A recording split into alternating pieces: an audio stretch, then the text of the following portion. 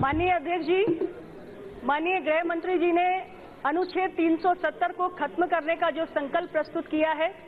और साथ में जो दो महत्वपूर्ण विधेयक लेकर आए हैं, जम्मू और कश्मीर राज्य पुनर्गठन विधेयक और जम्मू और कश्मीर राज्य आरक्षण विधेयक 2019 उसके समर्थन में मैं अपनी बात रखने के लिए खड़ी हुई हूँ।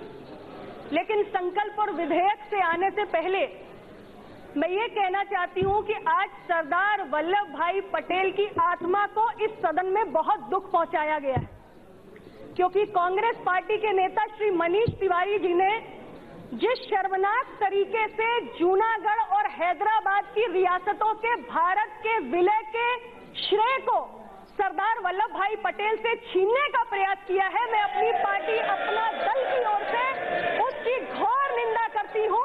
और मैं ये देख रही हूँ कि सरदार पटेल की शख्सियत को कमतर करने का, उनके योगदान को कम करके दिखाने का कोई भी अवसर आप छोड़ना नहीं चाहते हैं। मुझे समझ में आता है कि सरदार पटेल जी को मरने के बाद भी 40 साल क्यों लगे भारत रत्न मिलने में?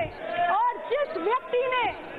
जिस व्यक्ति ने हमें अखंड राष्ट्र की सौगात दी है, जिनकी वजह से इस अखंड देश के अंदर हम सांस ले रहे हैं उनको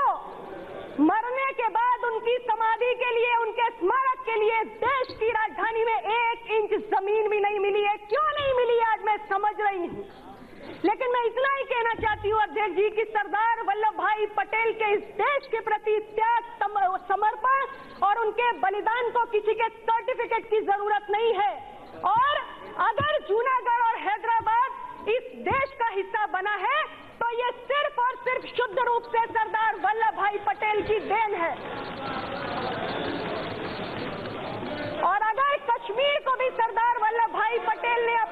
अपने हाथों में लिया होता I know it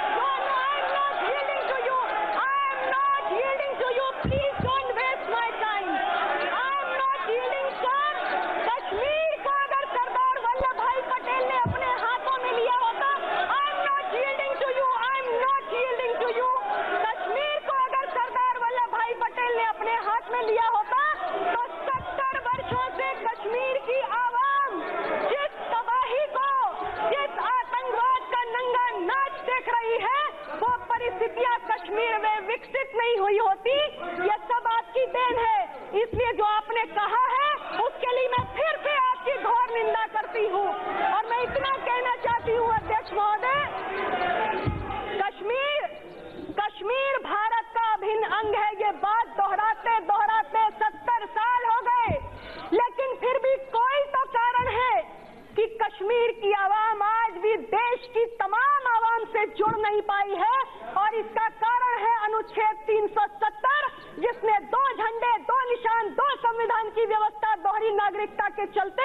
कश्मीर को परोक्ष रूप से भारत से जुदा करके अलग थलग करके रखा हुआ है। हमारे गृह मंत्री जी ने कल इस बात को और आज भी विस्तार से बताया कि कैसे देश के तमाम महत्वपूर्ण कानून कश्मीर के अंदर लागू नहीं हो पाते हैं, जिसमें राइट टू इंफॉर्मेशन भी हमारा एक कानून है जो लागू नहीं हो पाता। और राइट टू एजुकेशन को तो माननीय गृह मंत्री जी ने आज सदन में बताया कि वहाँ के चुनिंदा राजनीतिक परिवारों की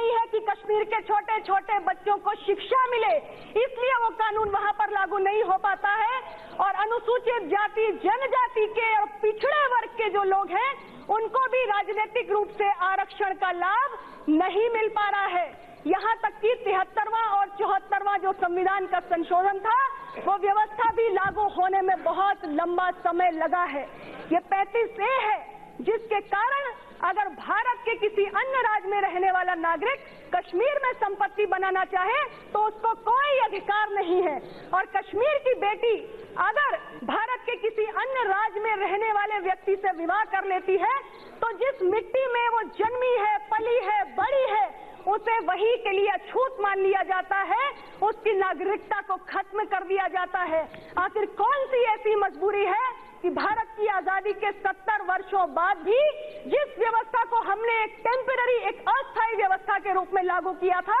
उसको हम बर्दाश्त करते रहे, उसको हम चलाते रहे। अध्यक्ष महोदय मैं सिर्फ़ इतना ही कहना चाहती हूँ कि आज कश्मीर की आवाम को खुशहाली के रास्ते पर ले जाने का निर्णय हमारी सरकार ने किया है। और राष्ट्र हित में जब हम कोई बड़े निर्णय करने चाहते हैं तो हमें दृढ़ इच्छा शक्ति की आवश्यकता होती है। वही दृढ़ इच्छा शक्ति जो सरदार वल्लभ भाई पटेल ने दिखाई थी जब पाँच रियासतों का विलय करके भारत गणराज्य बनाया था, और तरीके का कमिटमेंट और रिजॉल्व हमारे देश के प्रधानमंत्री और माननीय गृह मंत्री जी ने दिखाया है।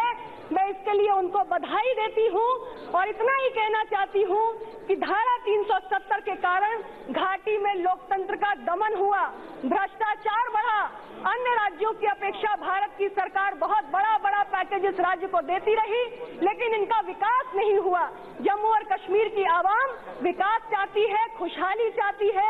आगे बढ़ना चाहती है और कुछ चुनिंदा राजनीतिक परिवारों की बंधक बन के रहना नहीं चाहती है। इसलिए लिए मैं पुनः सरकार को बधाई देती हूँ कि आपका ये फैसला सिर्फ़ भारत के भूगोल को नहीं बल्कि भारत के इतिहास को भी बदलने जा रहा है। और देश के प्रथम गृह मंत्री सरदार वल्लभ भाई पटेल जी ने जो सपना देखा था उसको पूरा करने की दिशा में आगे बढ़ रहा है। इन्हीं शब्दों के साथ